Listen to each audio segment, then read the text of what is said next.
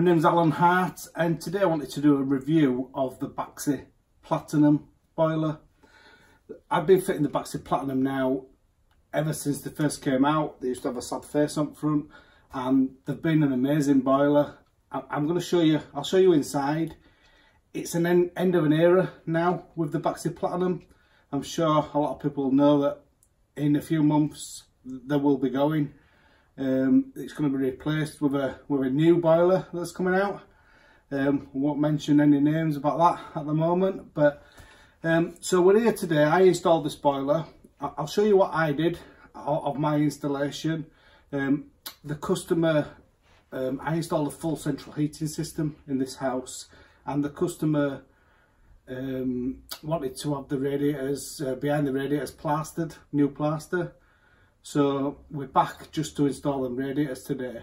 But what I'll do is I'll show you the boiler, show you what we've done, and then we'll have a look inside the boiler and and yeah, and, I, and I'll show you what I think what I think to it.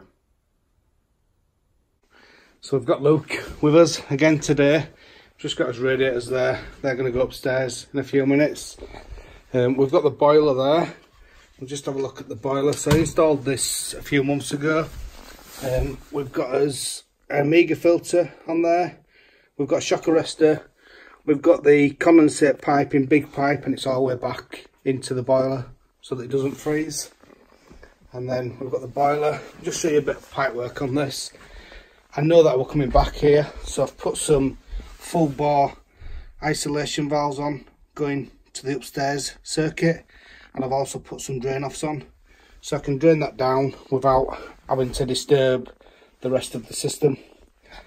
So let's have a look inside inside this boiler and see what's good about it.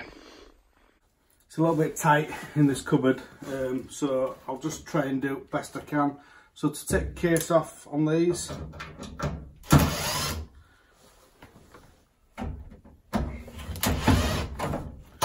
just undo two screws.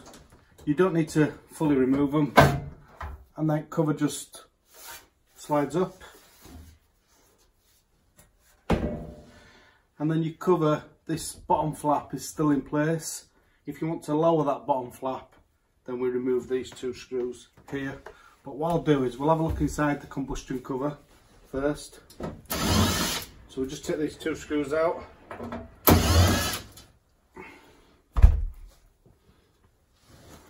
And again this just lifts forward lifts up and just lifts off nice and easy. I've installed a lot, a lot of these boilers and, and I can only do a review on the ones that I've installed because not all, all installations are the same. Um, but out of all the ones I've installed, I have very, very few callbacks. Um, they're just super, super reliable. Um, so let's let's have a look inside if we have a look inside it's a bit let's say it's a bit tight is this but we've got a stainless steel heat exchanger. Very very reliable. I've never had an issue with one ever to be honest. Um, expansion vessel. Expansion vessel on these is a little bit difficult to get to. Schrader valve is there and that's you've got to take this out to get to it. So that's a little bit awkward take burner out on this, there's a couple of ways you can do it.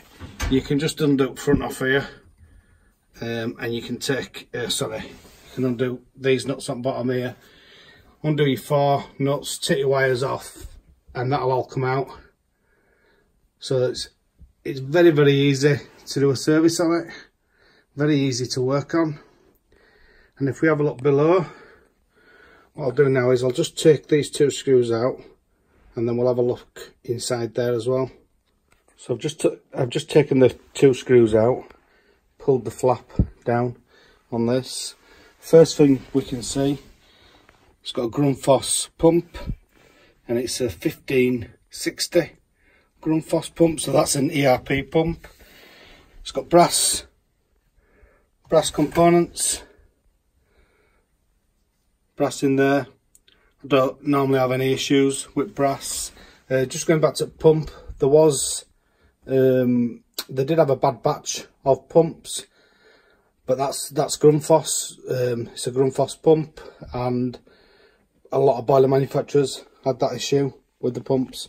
So, but apart from that, as I say, these boilers have been really reliable. This this boiler has a 10 year parts and labour warranty as well, as long as it's serviced. The Baxi Platinum comes with a 10 year parts and labour warranty. Um, as, as I've said before, it comes in 24, 28, uh, 33 and 40 kilowatts. So it covers most. Um, this, this actually sounds like a sales video, but um, it's getting it's getting withdrawn from market. So um, so yeah, I'm just uh, giving my honest opinion of it. Um, as I say, I've I've installed hundreds of these boilers to be honest, and and I think they've out of all the boilers I've ever installed, these have been these have definitely been the most reliable. Um, customers tend to get these serviced as well. So Baxi send out service reminders.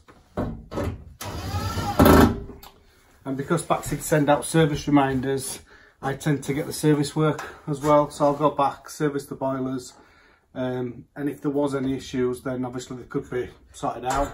But as, as I've said before, uh, don't don't have any issues with them at all. Um, I might have had, I don't know, I have loads and loads of boilers.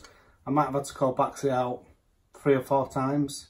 very, very rare on this particular model of Baxi boiler. I have installed other Baxi boilers that haven't been as reliable.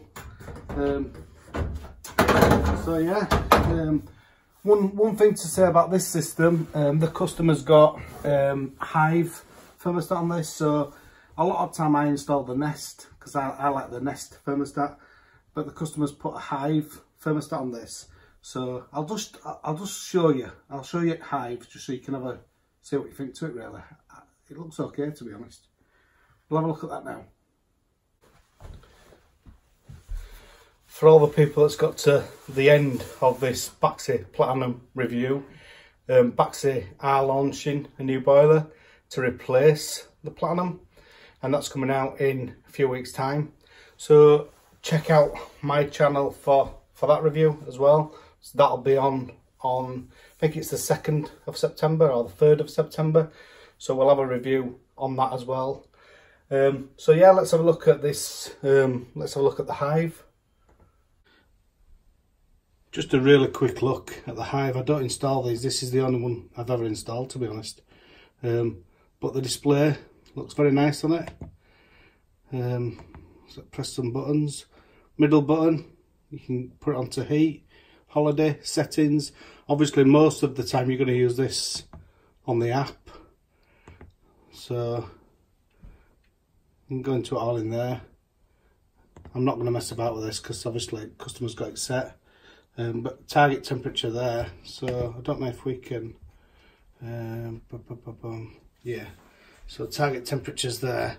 So we can turn the heating on with this if we want so that says target temperature. I think you click that. Yeah.